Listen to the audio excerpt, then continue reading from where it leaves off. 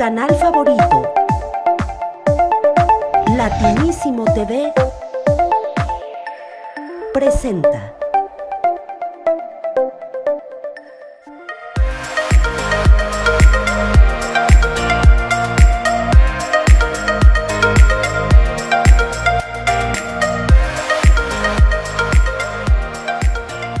Hola amigo, come stas? Oggi ti parlerò del tempo e del cambiamento. Andiamo!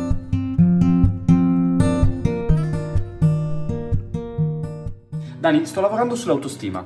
Tutto a posto, tutto bene, già piccoli risultati, ma quant'è che ci metto poi per finire? Che senso? Sì, insomma, cioè, io ho iniziato questa cosa perché la mia ragazza mi ha lasciato e entro quanto tempo starò meglio? Ah, ecco, il concetto del tempo.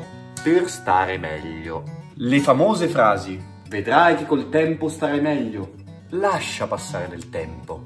Tranquillo, non ti preoccupare, il tempo guarisce tutto. Ma che cazzo stiamo a dire? Ragazzi, il tempo di per sé non guarisce nulla.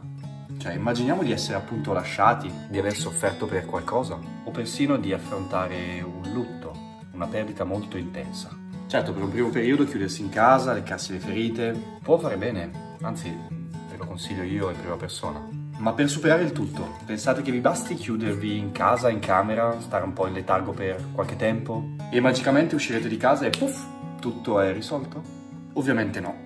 Ragazzi, ciò che ci permette di superare eventi traumatici, oltre al fatto di affrontarli se possibile, non è il tempo, ma cambiare noi in questo tempo. Solo quando sarai una persona diversa da quello che eri con la tua ex potrai superare e ripartire.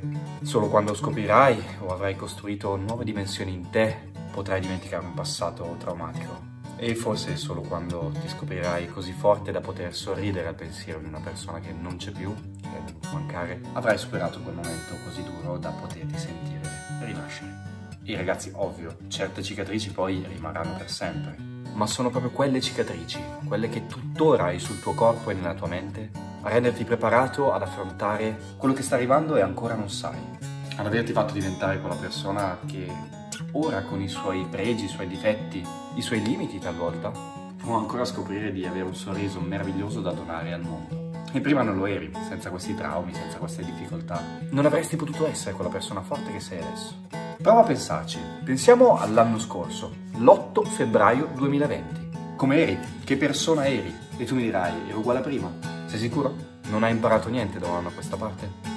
Non sei cresciuto anche solo affrontando quello che sono una quotidianità e qualcosa di diverso. Hai scoperto grandi forze in te e molto probabilmente se ti soffermi meglio a pensarci, potresti scoprire più cose di quanto immagini.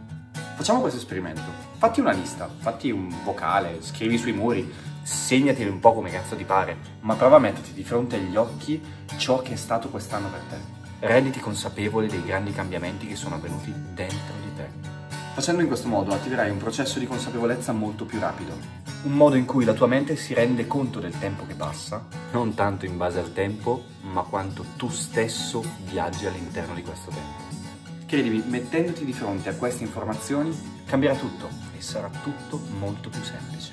Facciamo così, ci vediamo fra una settimana e vediamo quello che hai scritto, quello che ti sei segnato e cerchiamo di notare se è cambiato anche qualcos'altro. Ragazzi, oggi abbiamo distinto quello che è il tempo e quello che è il cambiamento nostro nel tempo. Non è una lancetta che passa a cambiare le cose, bensì siamo noi a modificarci nella nostra vita. E quando guardi le cose con un occhio diverso, beh, anche le cose diventeranno diverse, automaticamente. Comunque, se avessi qualche domanda, spunto, riflessione, io sono sempre qui. Contattami, sono sempre a tua disposizione. Grazie amigos, ma prima di andartene aspetta, seguici sui nostri canali, YouTube, Facebook e Instagram, Latinismo TV. Hasta luego, amigo. Chao, chao.